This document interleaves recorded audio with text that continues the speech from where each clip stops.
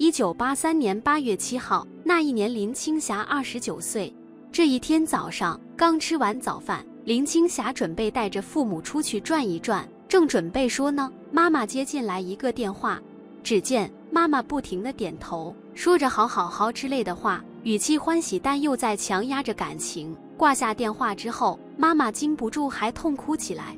林青霞担心起来，向妈妈询问道。经过妈妈一上午的诉说，林青霞才明白事情的原委。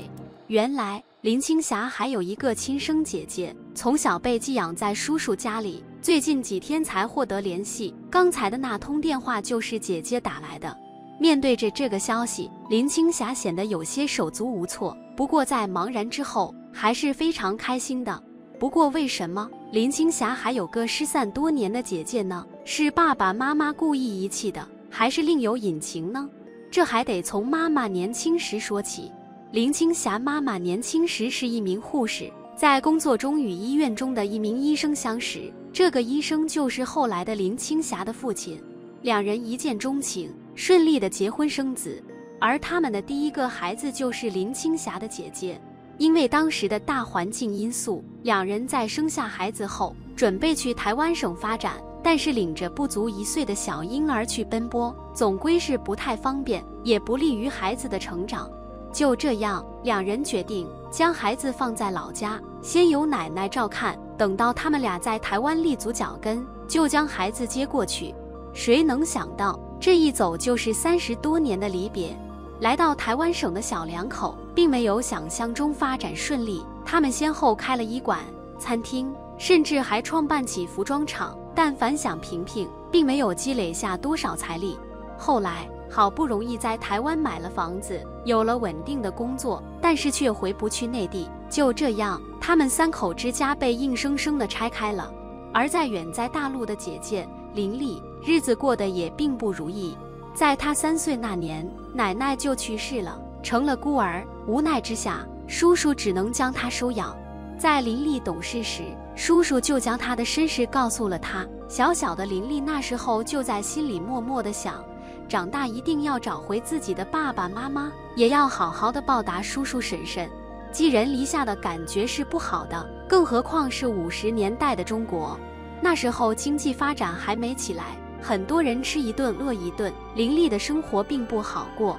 虽然叔叔婶婶很疼她。但是林丽很懂事，为了家里的其他孩子，她每次只吃一点点。小丽啊，你不用这么节省，该吃吃，别饿着自己。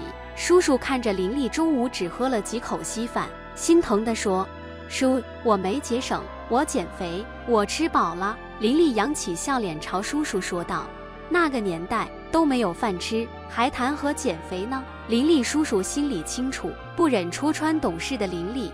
除此之外，林丽还会利用空闲时间去为工厂打打零工，补贴家用。当然，她也清楚的知道，只有学习才能改变命运。所以在打工的间隙，她也没有忘记读书学习。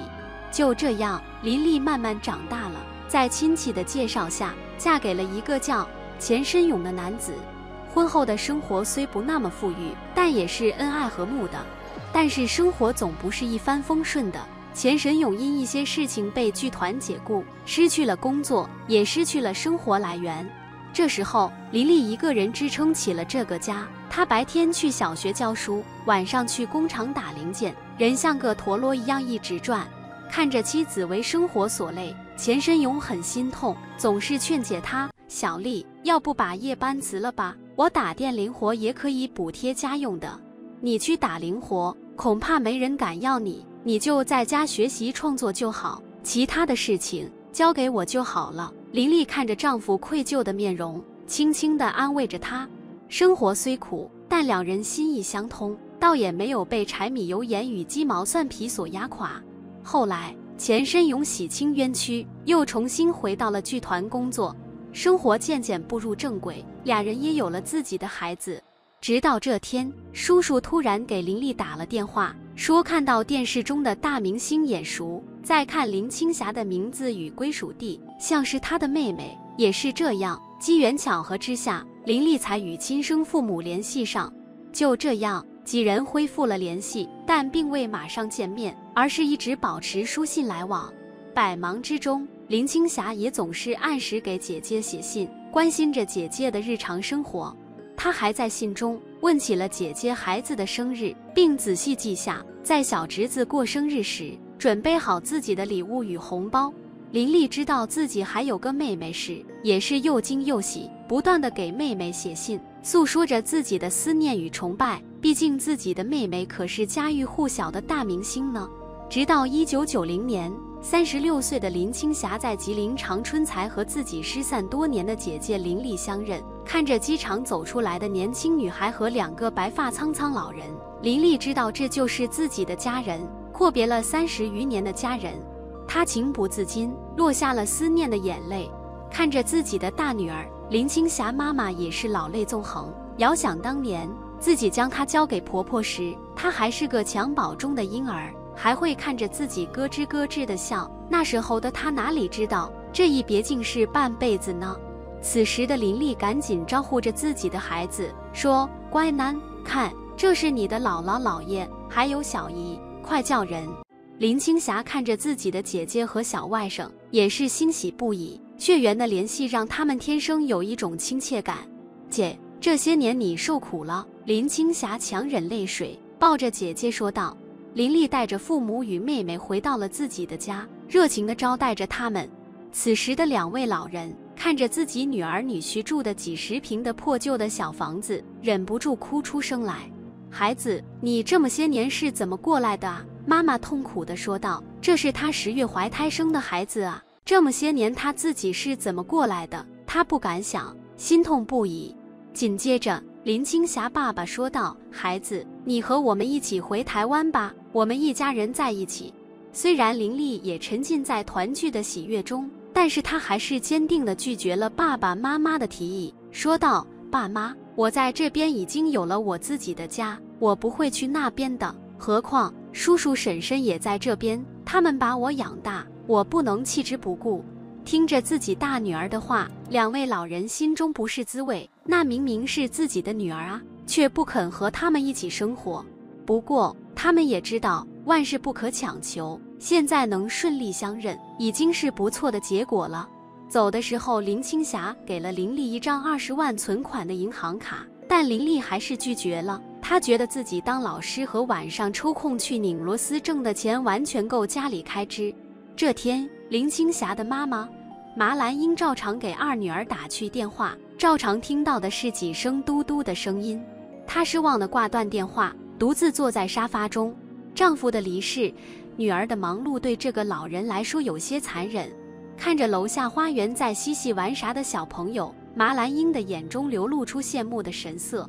她像是下定决心一般，拨通了大女儿的电话，却又迅速挂断。她自嘲地笑了笑。心里暗暗想到：“我又有什么资格呢？我又没有养过他，凭什么能和他一起生活呢？”孤独、寂寞、想念无不在侵袭着这个七十多岁的老人。他想打开电视解闷，电视却显示无信号。他呆呆地站在窗前，就这么呆呆地站着，就是他一天的生活。就这么一天一天地站着，他多么希望能看到女儿驶进来的汽车，然而什么都没有。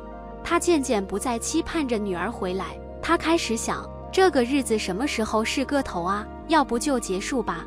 麻兰英被自己突如其来的念头吓了一跳，但转念又想，还能有什么更坏的打算呢？这天，他终于被情绪折磨疯了，从窗口一跃而下，结束了自己的生命。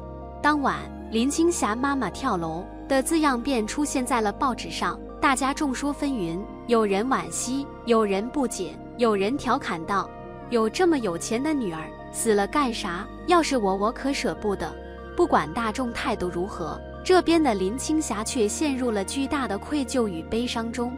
母亲的离世太突然了，没有任何预兆，这让她难以接受，甚至怀疑有人故意杀害了自己的母亲。但是警察的检验结果证实了麻兰英确实是亲生的。面对着生活的压力、事业的压力、母亲的离世，林青霞终于扛不住了。她患上了抑郁症，与她的母亲一样。不过好在林青霞的姐姐敏锐地发现了妹妹的不对，及时带她去做了心理疏导。在家人的陪伴下，林青霞慢慢走了出来，恢复了正常的生活与交往。但从这些事情中，她也明白了陪伴与家庭的重要性。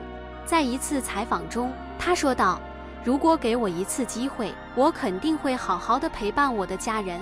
但是我的母亲已经不在了，我只能珍惜现在，珍惜我现在的家庭，好好陪伴他们。”是啊。很多子女都为了生活奔波劳累，认为挣很多很多钱就可以让父母过上好的生活。其实，相对于陪伴来说，那些钱真的不重要，陪伴才是治愈父母、维系家庭的良药。希望我们在前行的时候，多陪伴一下自己的父母、自己的爱人、自己的孩子，不要让悲剧再度重演。